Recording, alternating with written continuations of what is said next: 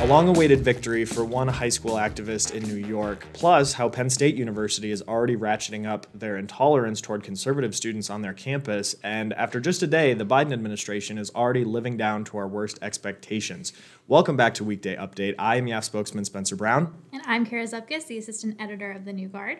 Well, it's been a while, but we are excited to be back with Weekday Update. There's been a lot going on, a lot of stories that we've broken on the New Guard coming to us through our campus bias tip line uh, as well as some important victories as we kick off sort of the new college semester. The first thing we want to talk about today is a victory, which we've had a lot of through our reporting and holding schools accountable using media pressure, and in this case, using some legal pressure on a high school in New York. Uh, it was more than two years that the student was fighting it out, trying to get recognition for his Young Americans for Freedom chapter. And just now, finally, the school had to relent and actually acknowledge that conservatives have a right to be active on campus. Yeah, this is really a great story. I mean, this student came to us over almost two years ago now through our campus bias tip line. All he wanted to do was start a YAF chapter at his high school. And I mean, you would think that that would be pretty easy given that it's a public high school and they have to abide by his constitutional rights. Um, but this student really did have to put up a fight. He applied three separate times with his administrators, and each time they gave him an arbitrary reason. They changed their reason. Oh, there's already groups on campus you can join. Oh, this is a national organization, so you can't be a part of it on campus. Giving him these just most ridiculous runaround answers. So he came to us. We helped push back. It was a really long process. I remember filing different FOIA requests to try and see the internal emails that the administrators were saying, trying to get to the root cause as to why the student was actually being denied.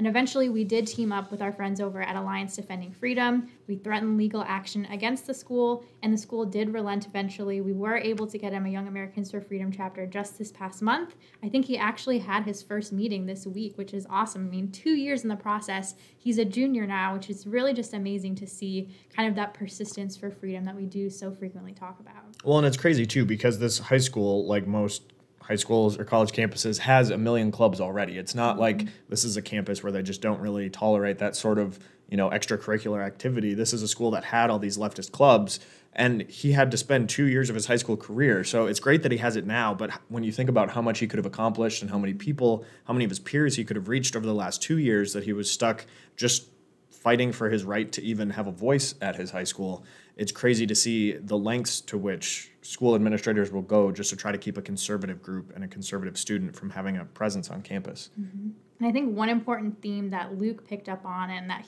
we kind of picked up on with him is if I don't pick this fight and if i don't fight who else will on my campus? And i think that's a really important mindset for a lot of conservative students to have especially as they're facing their liberal professors their liberal administrators. And i mean he's a high school student and he not only went up against his liberal peers and friends not only his teachers but his administrators. I mean that has to be a pretty daunting task for a high school student. So really props to him and i mean hopefully this is an example for other students that if he can do this as a high school student you there's no reason why you can't yeah, definitely. And it's something that we've talked about a lot here at the foundation in the last couple months is this idea that uh, Governor Walker, our next president, has been talking about, and that's persisting for freedom.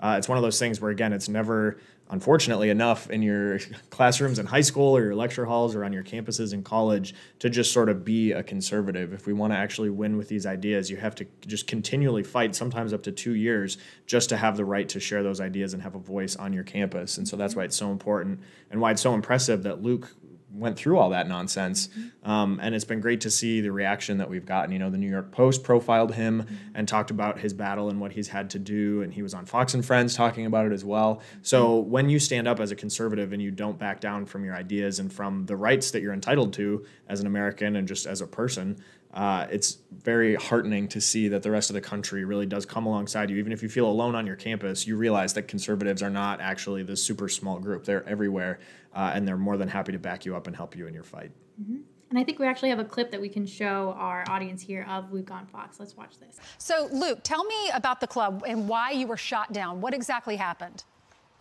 So, after I learned about Young Americans for Freedom, I was really energized by their ideas um, by their strong conservative ideas of free speech, limited government, and traditional values. And I just wanted to bring those ideas to my campus. And I really thought that the administration would be willing to go for because school is supposed to be the ultimate marketplace of ideas. Well, from one student who's finally ending his fight for a YAF chapter, we're brought to another situation where a student's just beginning his fight for a YAF chapter. And this is at another public school at Penn State University.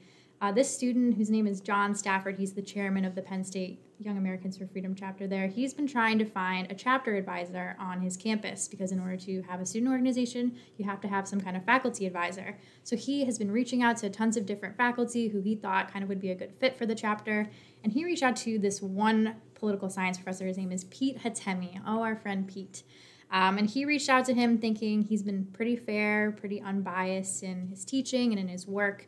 And he simply asked him, Hey, would you be interested?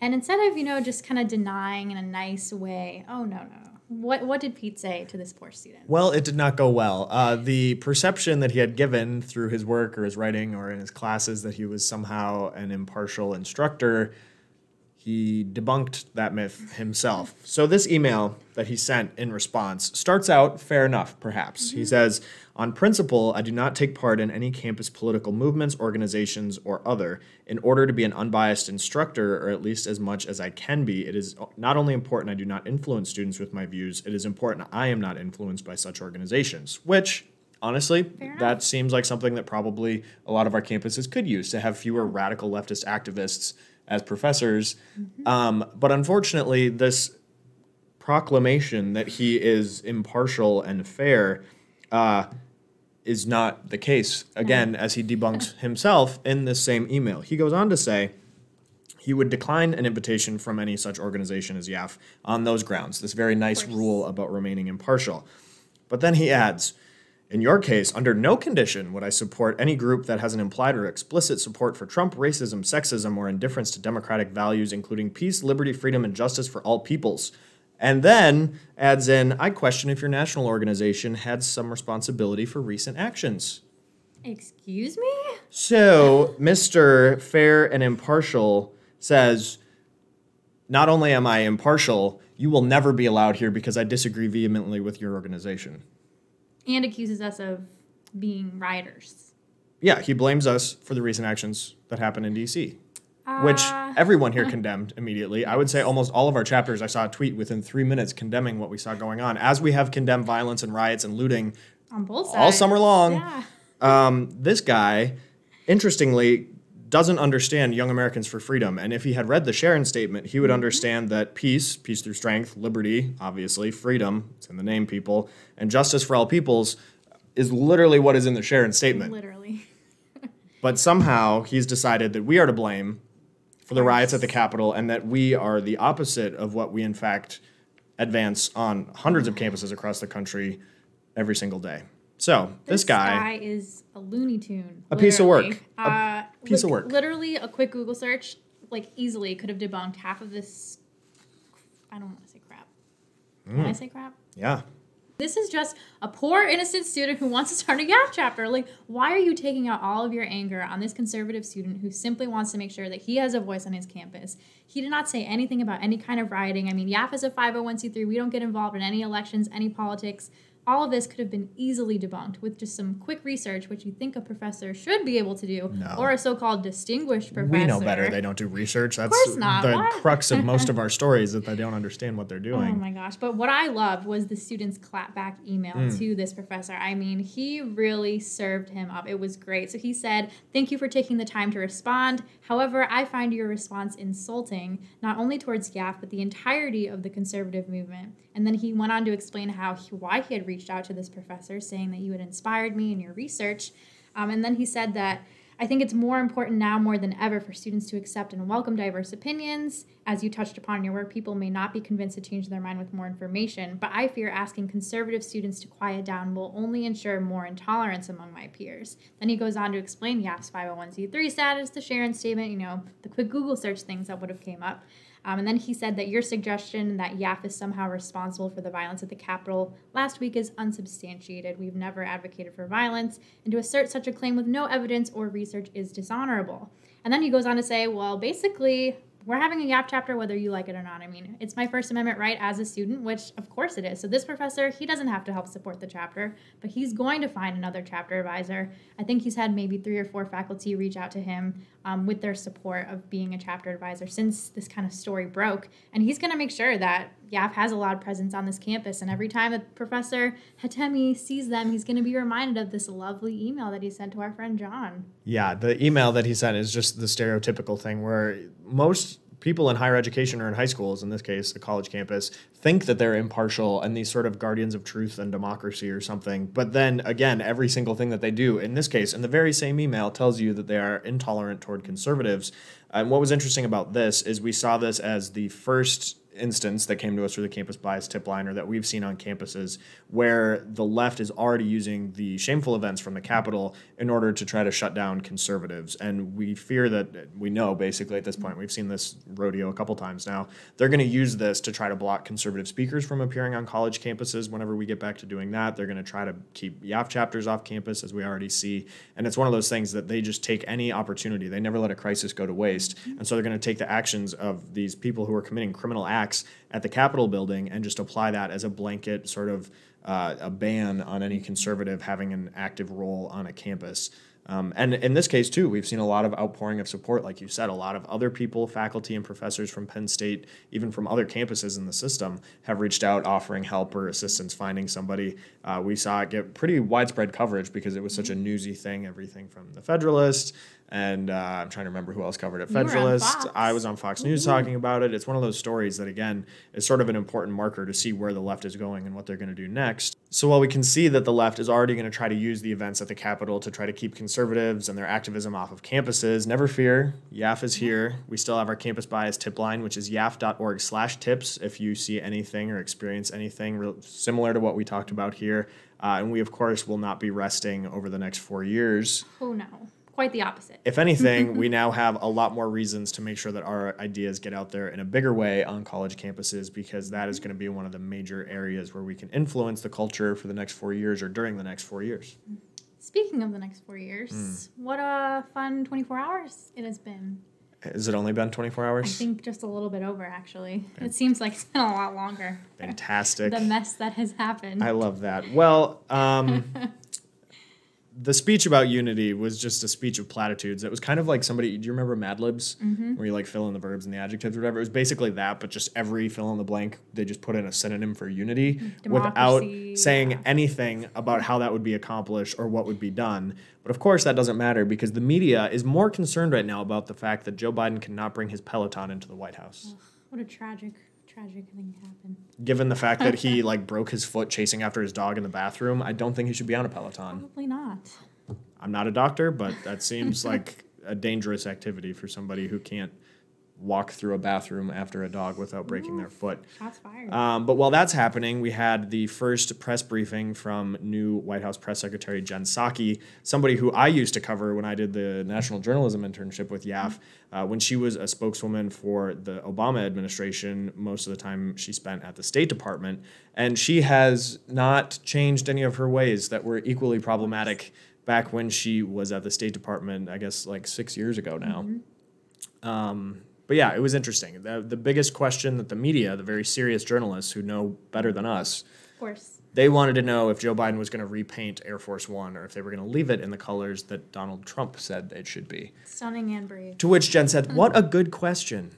Ah, can tell how this four years is going to go. Palace intrigue is taking a very weird turn. Well, he's already done a flurry of executive orders. I think 17. which- oh my God. This is, remember, Obama had his pen in his phone and he was like, I'm going to do what I want. Joe Biden has just, this was the most executive orders, I believe, ever on a first day of an administration. Well, are we going to go over our favorite ones? Well, they're not favorites. they are the worst of the worst. Oh, they're so bad. Kara, I know you are particularly lit up about one that Yes. deals uh, with athletes and transgender Mm-hmm. Yeah. players. I mean, the left always claims to be so pro women, you know, very feminist, but this executive order is doing the exact opposite. It's basically saying that um, transgenders can basically be in whatever league they want based on what gender they feel like they assign. So, biological men are able to play in women's sports leagues, biological women will be able to play in men's. That just it erases science. I mean, there's supposed to be, you know, the side of science, the side of women, and all this is going to do is hinder women from actually being able to accomplish. And if they're kind of pursuing this athletic career, they're going to have it shot down by someone who's literally a biological man just being able to one up them if they're saying that they identify as being a woman. That's just hmm. It's lunacy, and it's such an insult to women. What are we going to do about it? It's a great question. We've got a lot of problems. We don't have the solutions yet. One thing you could do if this is happening on your campus is to let us know Mm-hmm. and then bring in somebody like Matt Walsh to talk about it. Yes. I mean, I think that's a big part of it is just educating people. I mean, people don't want to seem offensive and they don't want to seem mean to people, but if you break it down to just the basic science of the transgender argument, I mean, the science is on our side and I was told that science was back now. allegedly, but only when it applies and when they feel like applying it, you know. That, How that may- that means it's not science then, for the record. What? Science doesn't just anyway. I digress. Speaking of being anti-woman and or anti-science, uh, the Biden administration is also getting rid of the Mexico City policy, which, if you're not familiar with it, is a policy that bars the use of U.S. taxpayer dollars being used to fund abortions abroad. So foreign aid packages, if we give a certain country money. The, the funds that we give them cannot be used to carry out abortions in foreign countries, which seems like if we're trying to help another country, we shouldn't engage in killing that country's citizens.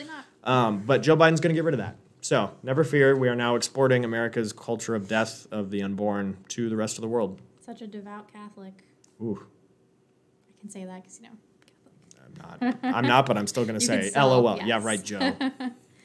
On the chopping block, along with Mexico City policy, is the 1776 Project, which was created by the Trump administration to bring, uh, you know, the truth and patriotic education and history lessons to America's young people. Something that obviously we are on board with, and that's more or less what we do every single day. But we're not on every campus yet, but we will be.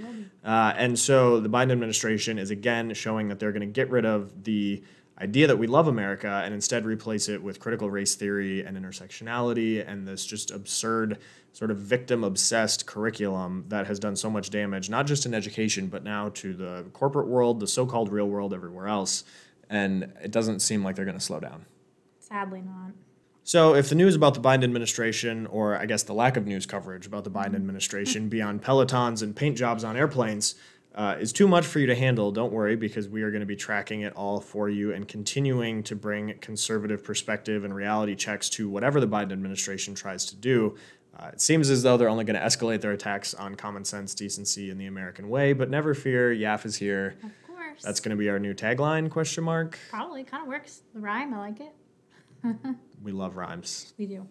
But we will be here. As I mentioned before, you can use the YAF Campus Bias tip line to let us know what's going on on your campus. Let us know. YAF.org slash tips. Let us know. We will hold your school accountable and we will not rest until freedom is everywhere. And that's what Persisting for Freedom is all about. Mm-hmm. If you are interested in getting more involved in bringing Young Americans for Freedom and the resources of Young America's Foundation to your high school or college campus, you can join YAF even if you're not on campus in person. Isn't that mm-hmm. right? Yeah, they can. You can join our new individual membership program where we'll send you a personalized swag pack with all of this awesome swag and resources that you can use to promote freedom on your campus, as well as have kind of these exclusive opportunities where you can get more involved at YAF conferences and things like that around the country. So make sure you sign up at yaf.org today, and it's totally free. We're excited to help spread freedom's message. And speaking of conferences, there's so many people wanting to go that it's unfortunately already sold out. But YAF will be headed to Miami at the beginning of February. We have a great lineup of speakers, some still yet to be announced, but you're going to want to make sure that if you didn't get a spot at that conference, we will be live streaming that so you can watch all the action from wherever you are. Until next time, I'm YAF spokesman Spencer Brown. And I'm Kara Zupkus. Thanks for watching.